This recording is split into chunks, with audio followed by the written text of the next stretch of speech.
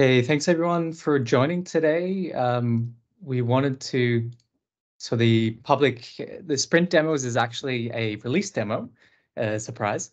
Um, so if you have been subscribed to our GitHub repository, you probably would have noticed already that we have the 0.10.0 was released uh, two days ago now, so on Monday, um, which includes a lot of uh, new features.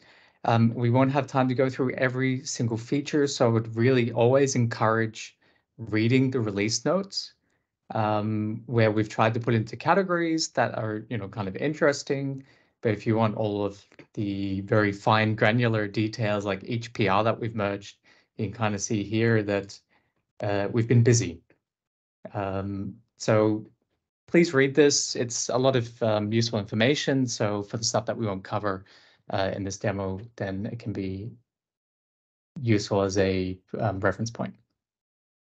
So what we wanted to cover today um, in like the main feature highlights, the most interesting parts, um, we have demoed some of this previously in the last uh, sprint demo, um, but we're going to be kind of showing it again and maybe providing a few more uh, details about the stuff. Um, so the main highlights we have is like the firmware support for child devices. Um, we have the service monitoring, which is a great feature.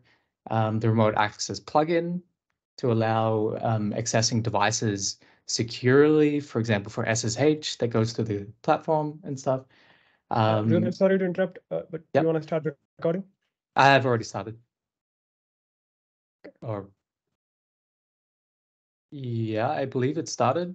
Yeah, I, I have the message that you did. So. Yeah. Okay.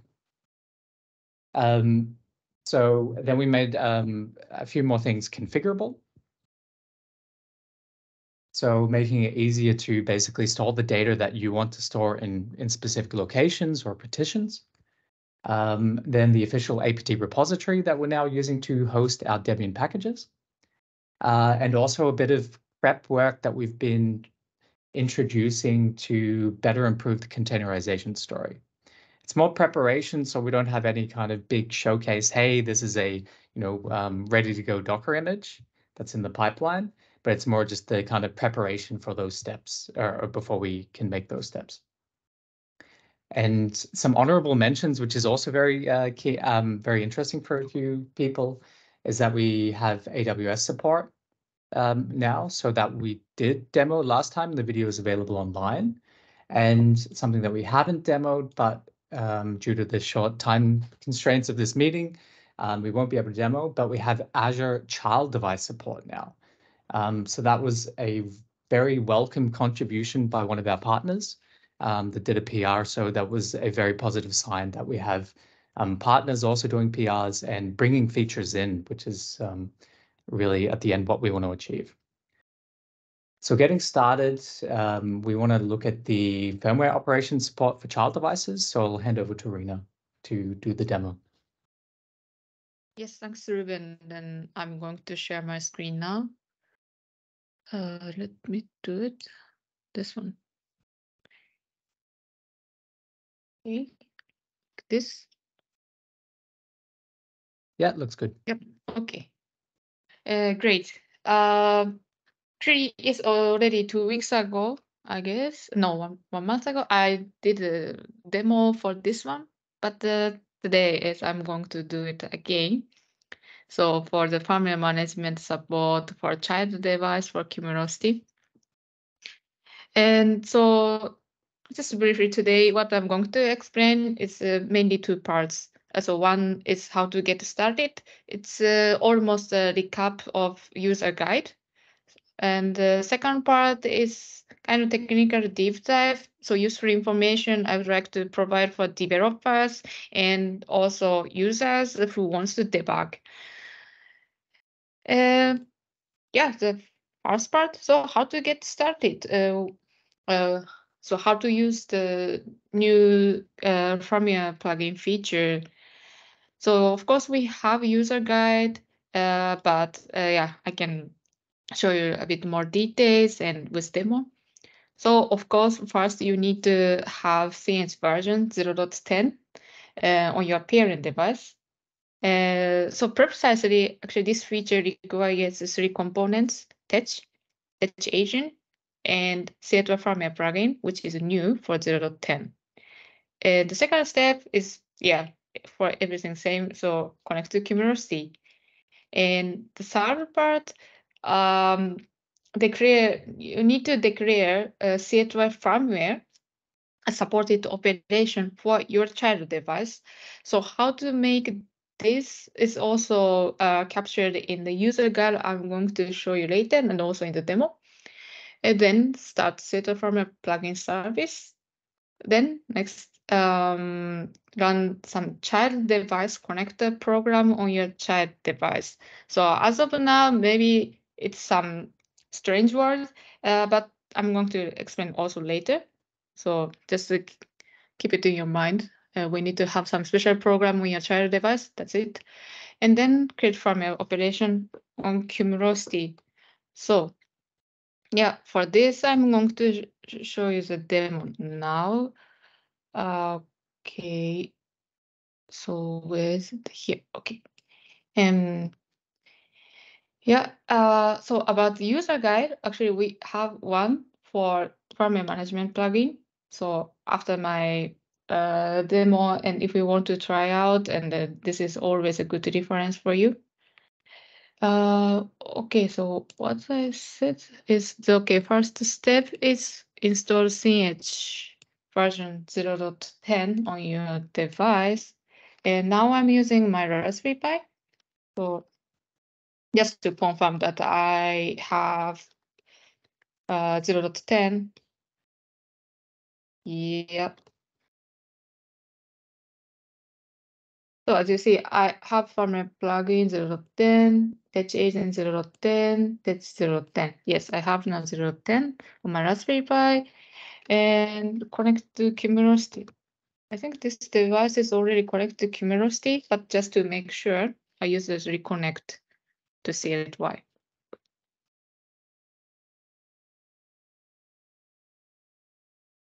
Yes, now I reconnected, and the third part is uh, declare CLI firmware as supported operation for your child device. So today is for demo purpose. So my child device is also uh, this Raspberry Pi. Uh, so, but now I want to create a new child device for Cumulocity. So, so config.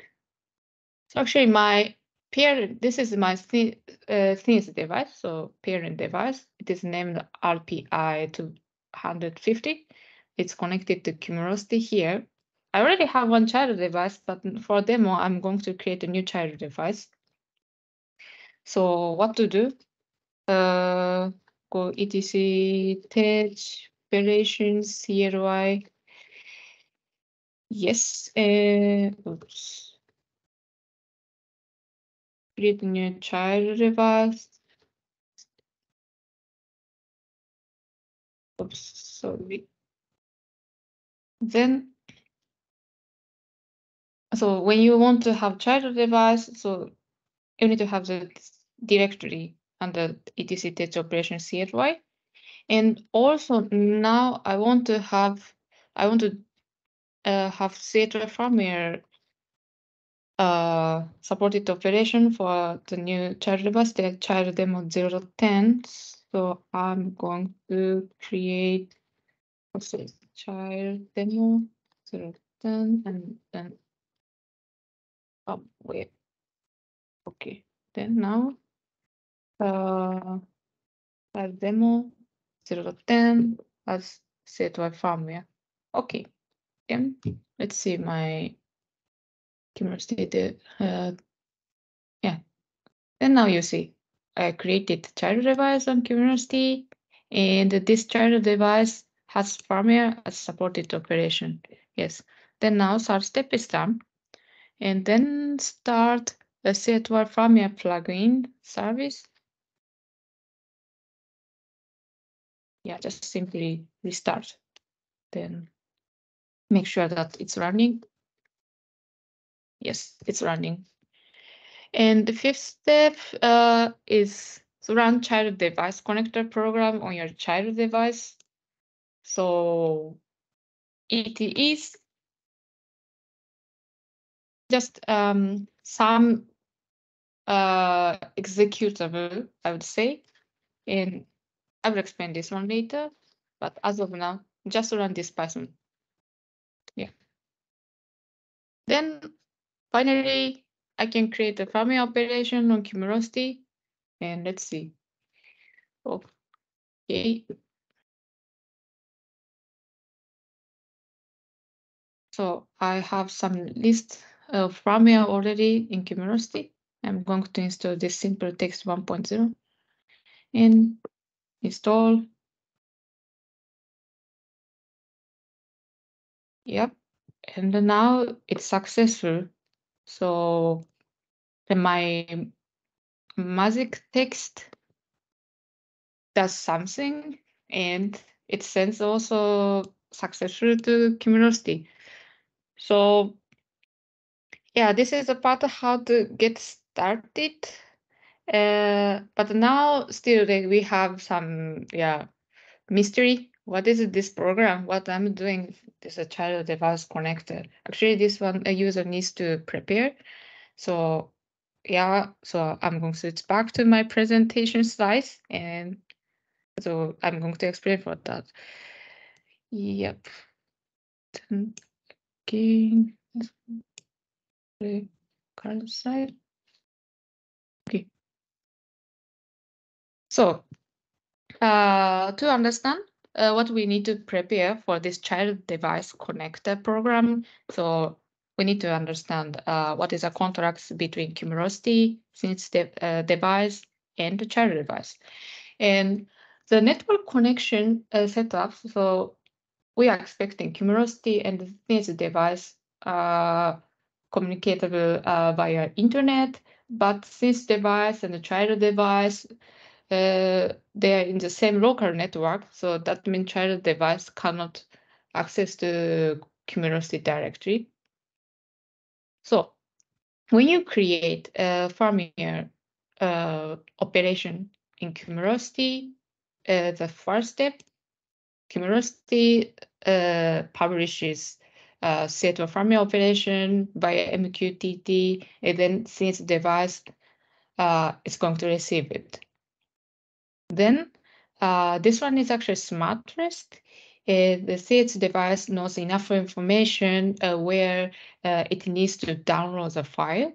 So the second step, since device downloads a file from Cumulocity, and this is HTTP. And afterwards, so so for since device, it's now ready to create a request to child device. So since device uh, publishes MQTT message uh, to inform child device that now you are uh, we have new firmware update request and the payload uh, is actually JSON. Uh, then child device now knows how to uh, download the file. So you get uh, inside MQTT payload URL. So this is a local URL like HTTP uh, 192 something IP address 80. Yeah. Then third device uh, download the file from CH device via HTTP, and then of course do some firmware installation. The next, after finishing firmware installation, uh, child device uh, needs to inform sense device that I finished success. I finished this uh, firmware update successfully. So this one needs to be done via MQTT. Uh, then, after receiving that uh, response from child device, since device uh, forward uh, that operation status to Cumulocity. So it is very simplified diagram. So some variant, actually you can also sense fail, uh, failed uh, here and also executing message like before you really start from your installation. In that case, also TNH device, uh, it's going to forward the executing message to Cumulocity. Then the Cumulocity status will be changed to executing. Then afterwards, successful or fail. Yes. Um, so actually, this child device connector's responsibility is to write or to have the program doing the bottom part. So receiving uh, MQTT message and also the get uh, download file and do some firmware installation. Afterwards, uh, services back uh, the response via MQTT. So then now I, it's demo, so I'm going to show you what I wrote in the Python. Yep. Okay, then here, here. Yes. So we can confirm that um, I wrote as I explained now. So the here the core part. So here actually is having some MQTT connection to localhost. Uh, then uh, it subscribes a message. Uh, it subscribes a topic. This touch uh, child commands like firmware update. And once this program receives the request from this device, and then it sends executing message. Then afterwards, download a file from tedge file server. It's accessible. Uh, then afterwards, uh, verify the file with the checksum. So this is highly recommended. So actually in the payload, uh, you get uh, SHA-256 of the firmware file. So you can use this one to checksum. So what do you get in the request and what you download is the same file. Yep. So some check.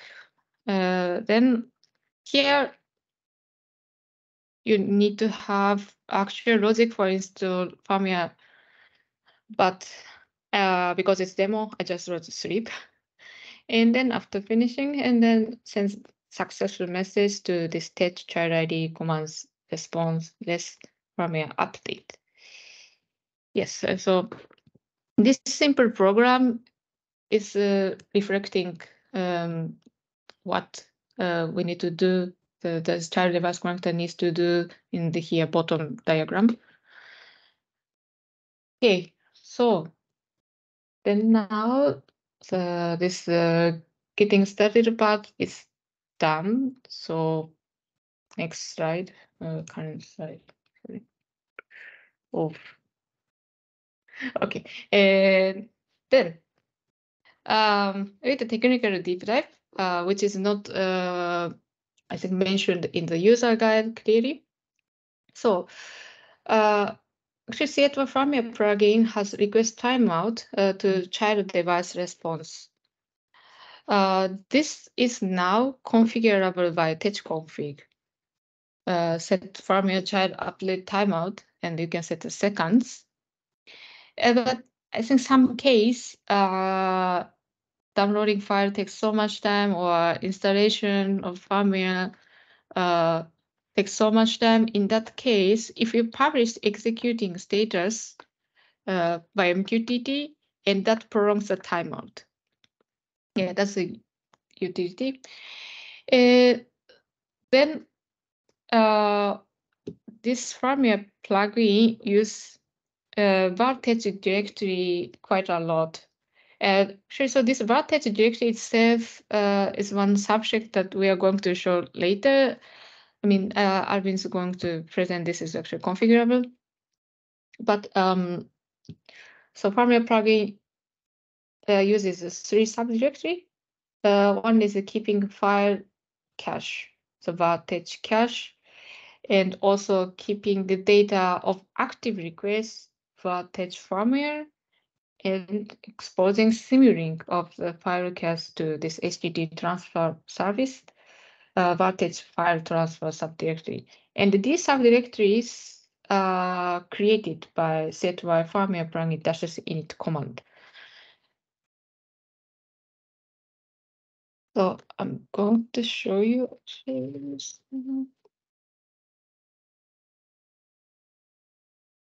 So now we are inside var tedge, and I said I mentioned the three subjects: so cache, file transfer, and firmware. So cache is the real file that uh, the device uh, download uh, from Cumulocity. And for file transfer, so uh, if you have multiple child device and you are going to have also child uh, the directory for each child device.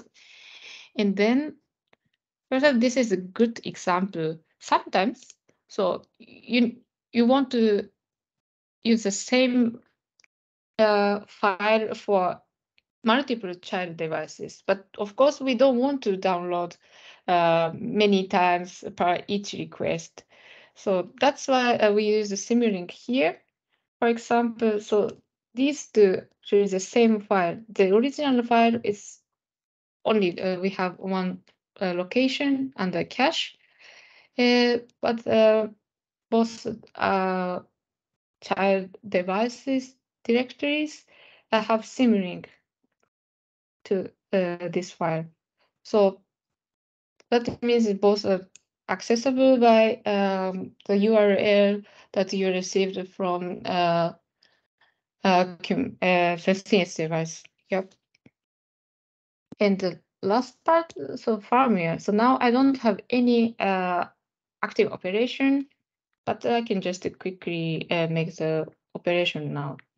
Okay, replace firmware.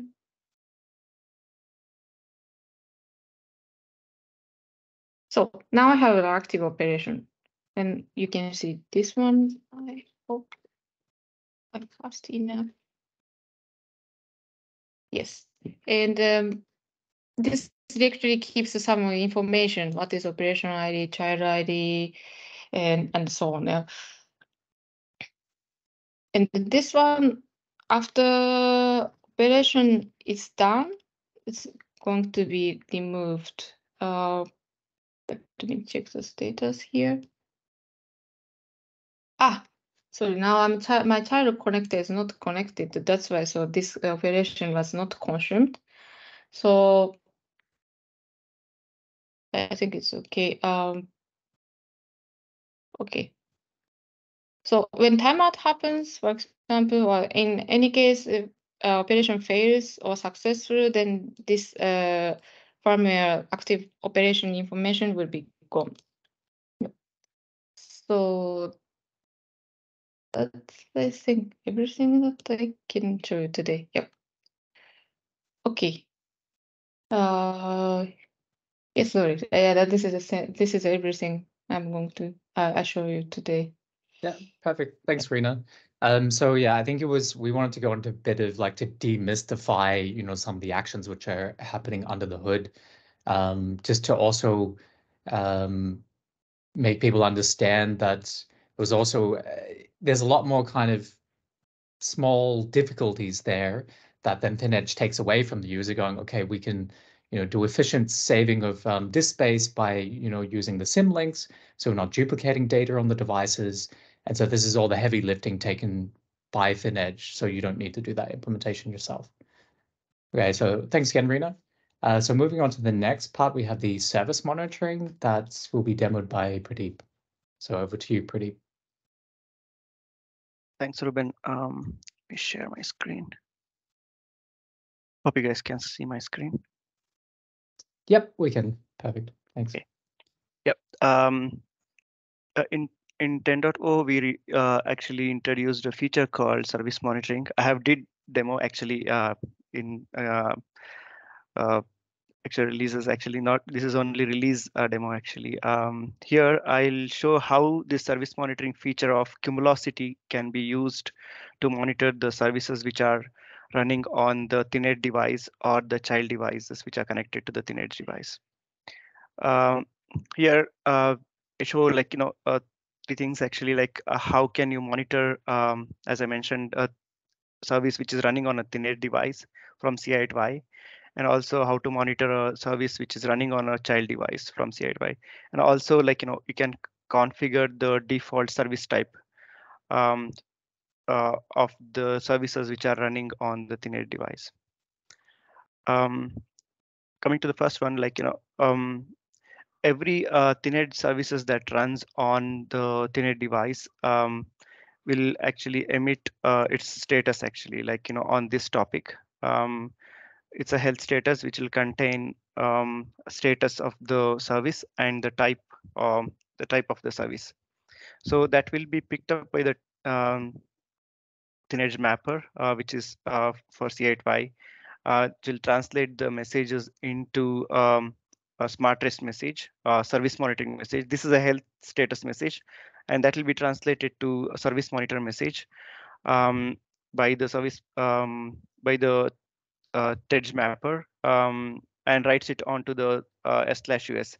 Um, here, one or two is a, um, a template number for the service monitoring messages that contains a service ID the service ID is uh, ID unique ID for that particular service. Actually, uh, how we generate is we use um, device ID and um, prefix with the service name, um, uh, postfix with the service name, and the type. Uh, you can uh, give the type here uh, when you send the health status message. If the type is not mentioned as part of this message, then the default value will be taken by the mapper and it will add it here and the service name uh, we get the service name from this topic.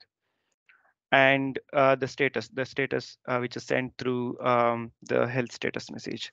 Will be translated and it will be sent to the cumulocity. In the same way actually we can uh, do the same thing for the uh, child devices which are connected to the uh, device.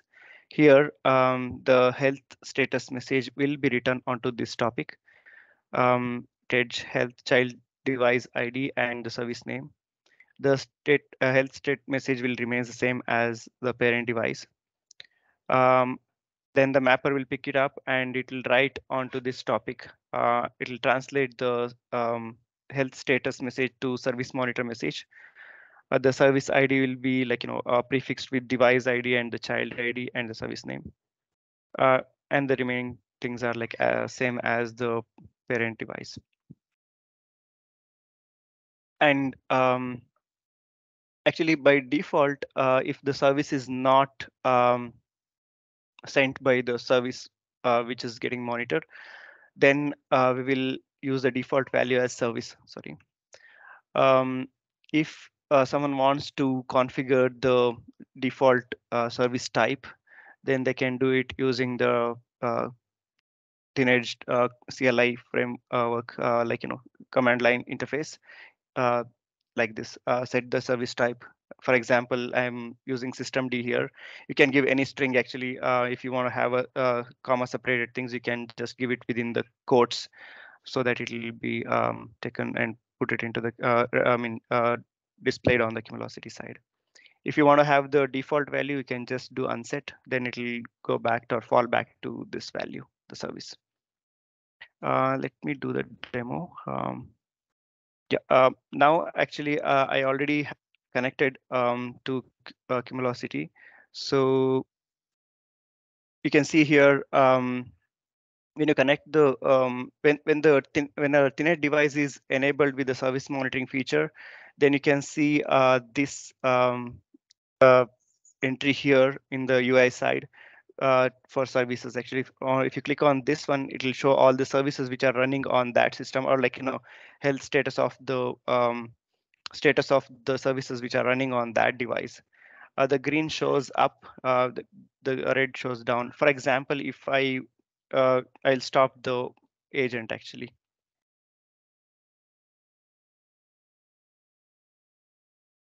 Now you can see um, the agent has gone down. So the status uh, is updated here on the UI side. Um, yeah, and the the type actually here, uh, I have set my type to uh, yeah um, some different string actually default type because none of these services are providing the service type with their health status message. So I have set it uh, as um, the string. So the mapper picks it up and puts that as the default type actually. Um, can see here. Um,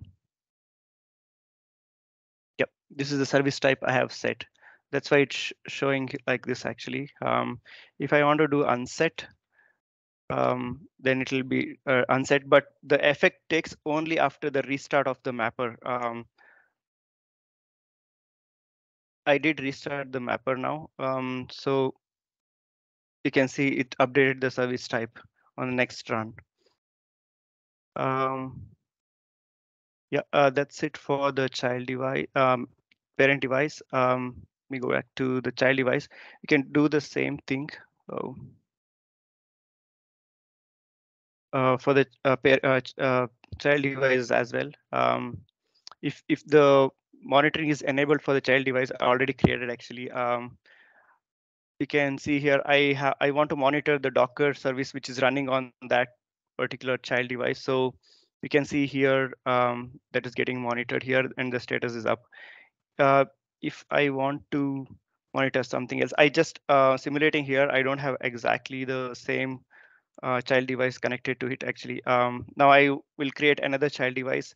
I want to monitor the Docker service which is running on that child device. Um, what happens here is like it will uh, create a child device. Um, we go back. Child device. Uh, there's one more child device created, and we can see the services which are running on that. You can see here the Docker is running here. Uh, it shows the service uh, which is running on that second uh, child device. we can do the same thing, like you know, if we can send status as down, it will go down actually. And the status will be updated here as down. Yeah. Um, yeah, you can set um, even other uh, strings as the status, for example, unknown. Then uh, it will update that as well here with the different, yeah, uh, this one. Yeah, uh, this is all I had. Any questions here?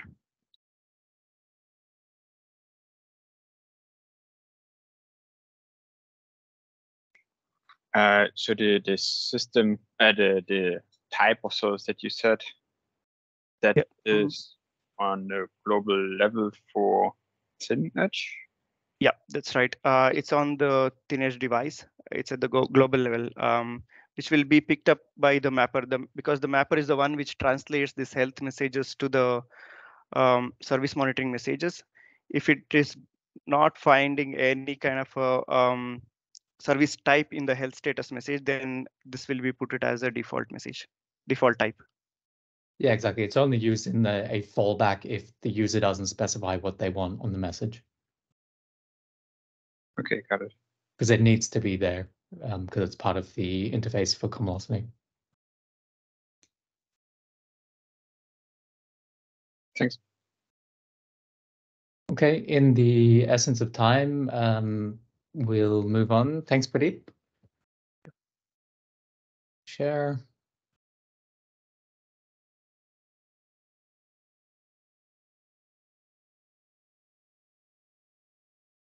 Okay, next one, remote access. Um, so I want to go into a bit more detail about the problem or that we now have a nice solution for um, regarding the new remote access plugin. Uh, so this is a Cumulocity specific feature. Um, however, I don't. I think it probably could be supported by other clouds, but it's more of a cloud implementation because it's not a standalone feature. It requires then, you know, a, a corresponding bit in the cloud to run. But the main use case for the remote access is so if you have your IoT device there on the right side, and maybe you want to have access or give specific power users SSH access into the device. Now, you so because these IoT devices are generally connected to the internet or could be connected to the internet, um, you know, to access the cloud platform. Generally, you will never enable an incoming port so anyone connect to it. So basically this setup just doesn't work because the firewall blocks it here because it says we don't allow incoming um, connections on port 22, which is the SSH port, um, access denied. So how do you do this securely? So this is where the remote access plugin comes in. So because we have an already or like a always on connection, so from the IoT device, you have ThinEdge installed on it and it's communicating to the IoT platform of your choice. That is an always running connection. So that's actually a connection which is established from the device outwards. So allowing outgoing ports is um, is a lot more uh, standard practice rather than incoming uh, because of less kind of security risks there. So what the setup is, um, so with the using the MQTT connection, that we actually use the cloud remote access feature from Cumulocity, and that basically acts as a tunnel, kind of a proxy, like a um, which then connects these two ends from the left side from the user to the right side to the SSH server. So for example, if we want a SSH connection, in the end, the SSH client needs to be able to reach the SSH server. So to facilitate this, there's a lot of moving parts there. Um, so Cumulocity plays the, the fundamental role of like passing the traffic through. Um, on the client side, there's a uh, open source component called the Cumulocity local proxy. Um, that establishes an operation to Cumulocity that says, hey, uh, I would like to connect via this proxy to the device. The operation gets sent to ThinEdge, so via the MQTT connection, which already exists and is established from the device. They get translated and go, ah, okay, you want a tunnel? I know who can handle that stuff. Passes it to the remote access plugin. That creates a TCP server um, to basically proxy the WebSocket to then the local TCP server, uh, which is the SSH. And then once that's established, it basically just passes bytes back and forth. Um, so this enables you to securely connect to your device, um, which is very, very powerful because that is normally not allowed, um, especially when these devices could be anywhere in the world. Um, so how does that look? Because there's a lot of um, there's a lot of stuff in the pipeline, so it looks more complicated than it is.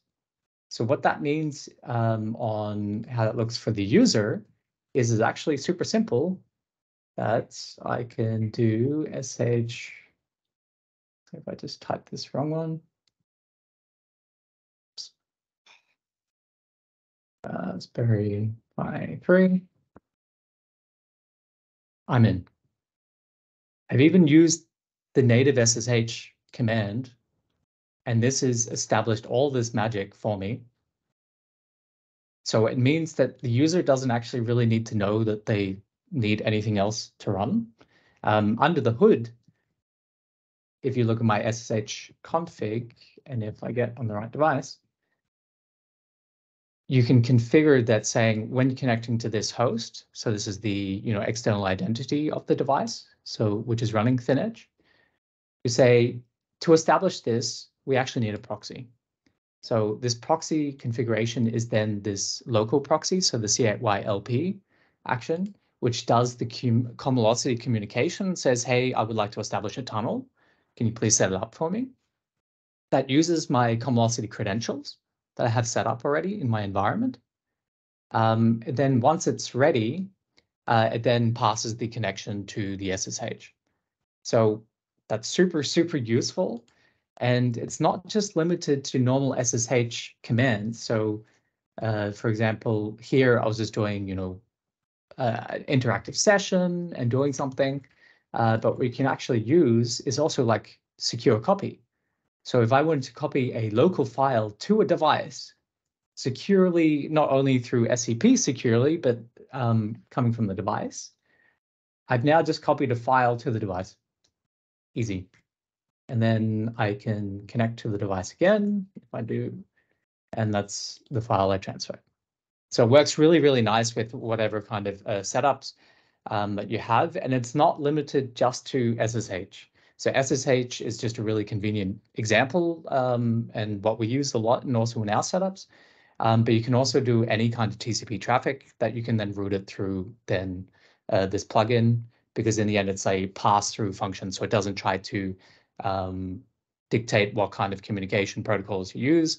As long as it's a TCP based, then you should be fine. So I think we've had other customers use it also for the uh, PLC program that they want to then connect to the device via that to provide access to the development uh, on the device um, and to do like, you know, debug sessions and stuff like that, or you can do a VNC um, server and whatever. So it's really up to your imagination. So that's a nice addition uh, to our product, which will help with the debugging um, and making basically the devices more accessible, even though they are IoT devices. So the package is also included by default now in when you install ThinEdge, that will be included. So you won't really notice much out of the box.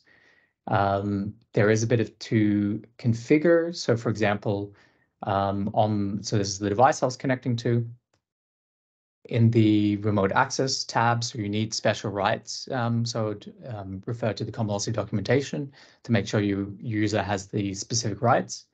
And then it uses this pass-through kind of function where you can add endpoint, pass through, etc., and saying I want to then pass it to the local loopback address uh, on port 22, which is where the SSH daemon is running. And the same can be used also for the classic kind of web SSH. Um, so if I click in here, um, using the same port, then I can also, using the UI, then establish a, a nice SSH connection. Um, but the web SSH is just because the underlying technology that uses is a little bit slower, so it feels a little bit clunkier. Um, so for people, especially power users, they're probably not so impressed with the web SSH. Um, if you can provide them a native SSH experience, then people will definitely jump at that. Uh, but this can be convenient just for accessing for on the on the fly kind of connections um, because you don't need to install anything on your machine. So it can be convenient for kind of shorter sessions. Okay, um, then moving on with to the next topic. Um, so I'll hand over to Albin to show how we've improved our configuration possibilities of controlling where do we store data. Yeah, thank you, Ruben. So let me quickly share my screen. Okay, so yeah, we can see it. Okay, yeah. So uh, with this release, we have actually introduced a new configurable parameter called the data path, which will let you config, uh, which will let you configure where ThinEdge and its components, like say the firmware plugin, configuration plugin, and even ThinEdge agent stores large binary files. Okay, and uh, so all the other, so we already had configurability for temp path, logs path, run path, etc. So this is the new addition to that set. And the default location is slash var tedge. So uh, if you saw Prerna's uh, presentations, you would have noticed that uh, the cache files and uh, the firmware files are actually stored at this location by default. Okay, so now we support uh, changing this uh, this particular path because some customers they would have limited storage space on their root partition where uh, probably even the var slash var uh, directory is uh, mounted on. So they would want to keep these large files, especially firmware files. They could be pretty uh, pretty big, and there could be several of those, especially with child device support. Uh, so you would want to store it on probably a different file system, uh, which with higher higher size. So what you can do in such cases is have a higher sized partition mounted uh, on a different mount point and then configure this data path to point to that particular mount point. Okay, so that's the uh, typical use case. So quickly to see a demo. So right now, uh, I haven't changed it. So I still have uh, my system is still configured. The data path on my system is configured to slash var tedge, and you'll see this. You can see this directories cache, file transfer firmware, etc. And uh, the cache directory is currently empty. So now, if so, I'm going to perform a firmware management operation just to show where the files get stored, etc. So I'm going to push a file. And after some time, yeah, it's complete. It's done. Uh, so now if you go back and check this location, uh, you will see that the file got downloaded to this path, the default location. So now how do you change it?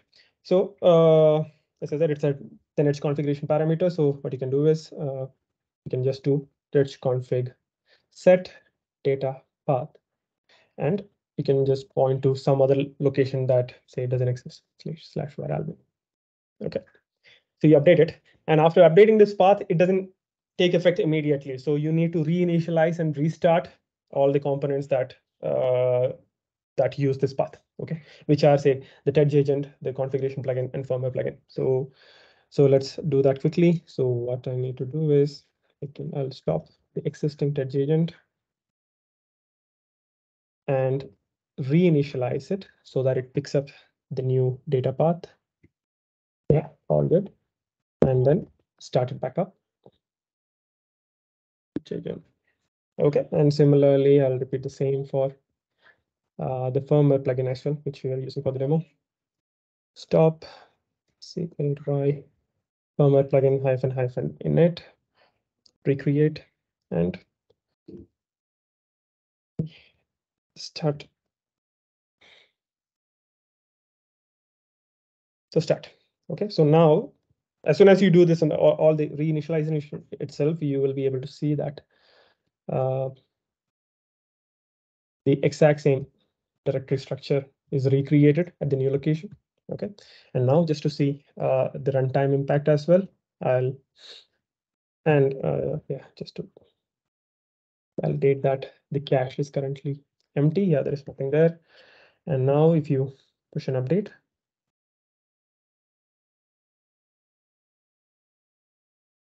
Uh, it's still being processed. Okay, done. And now if you come back and check, yeah, so the new file got downloaded at the new location.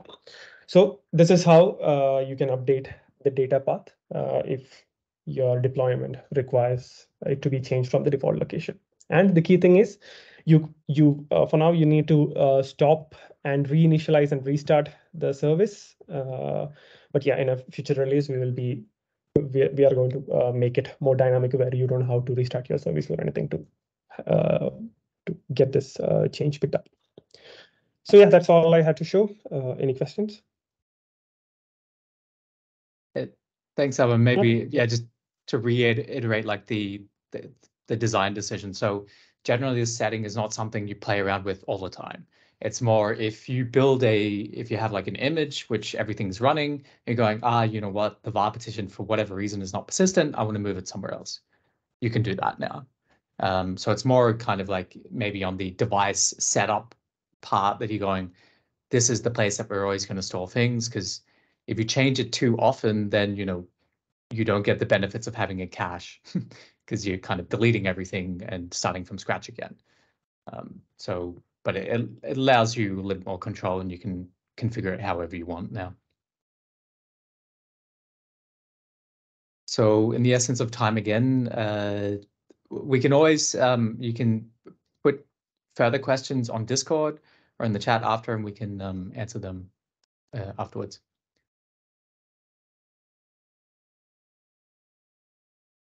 So some more less demo-ish uh, style, more kind of uh, hints to documentation. So we have the Debian packages now available on the APT repository that we have um, generously provided by Cloudsmith uh, for free. Um, so all of the packages, we have different repositories um, that we have uh, every time we merge to main that we publish then the built artifacts to the Tedge main. Um, and then when we have the official release that we go, okay, it's now doing the 0.10 release, um, we publish to the TEDGE release where you can see just the officially timestamp. So you have the best of both worlds. If you want, you know, the bleeding edge, you can check out new features that as soon as the PR gets merged, you can try it out.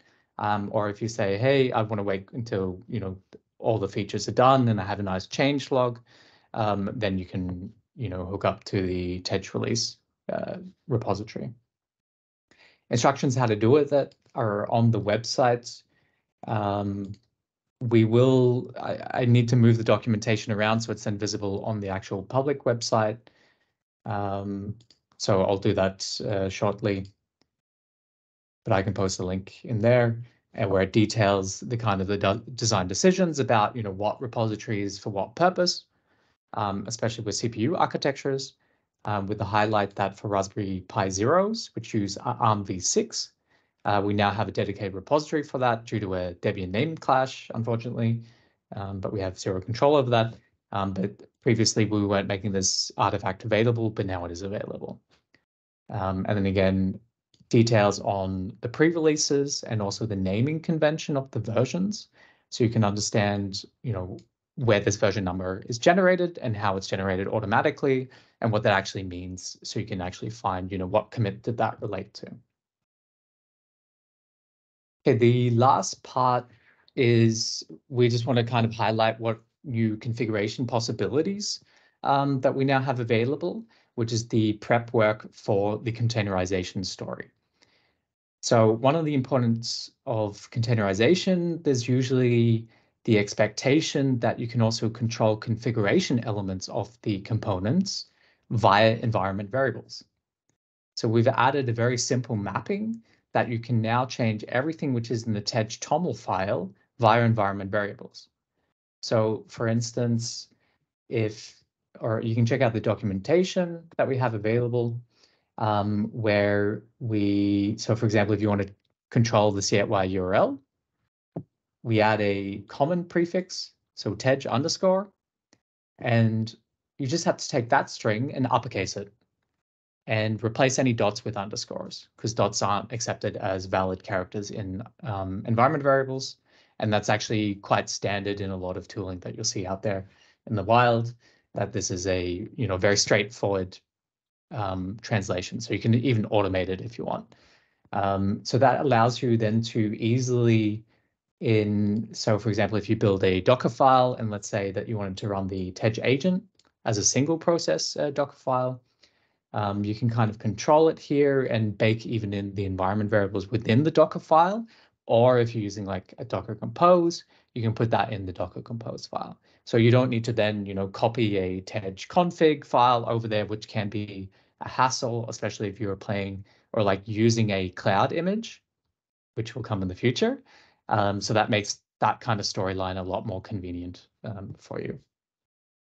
But just a heads up, um, so if you are running a multi-process container where maybe um, you're running systemd within the container itself, so the entry point will be systemd. this will not work because by default, systemd does not inherit environment variables from PID1. Um, just ignore that if you don't know what that means. Um, but just a heads up, if you are doing that, you know, that won't work exactly. Um, but the, the goal that we're going to is having a single process container or multiple containers where it's really running it like this, where a tedge agent will be a container, um, the tedge mapper will be container and stuff like that. And there'll be shared state in between those containers by using volumes. So I think this is an important step, quite simple, that maybe not everyone makes use of it now, um, but I dare say in the near future, that will definitely become very, very useful.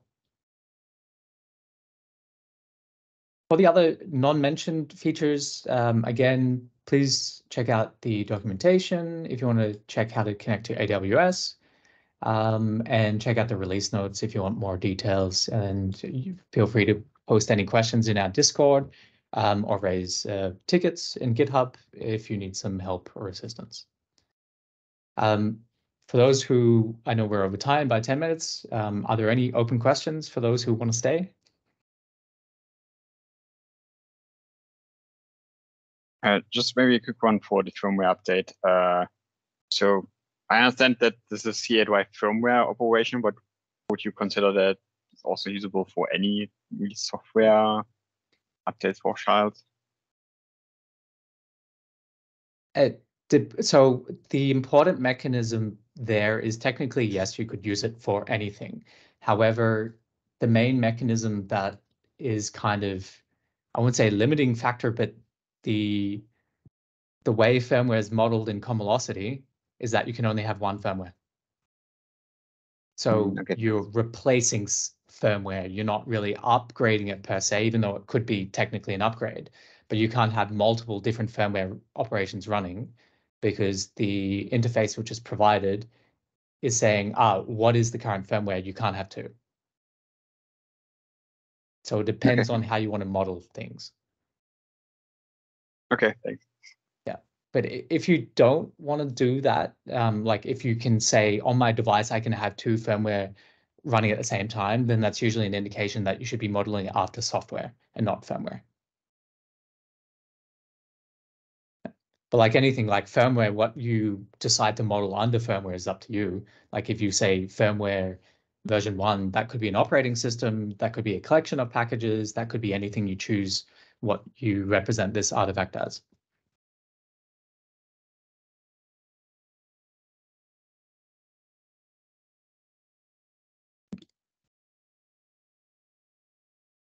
Okay, any other questions?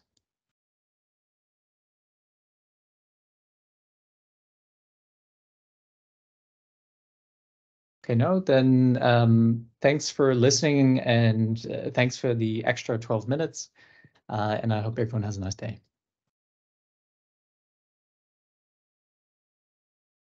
Oh. Ah, that was a clap for Ocean. Okay. Thanks, everyone. Bye. Yes, thanks everyone. Great job.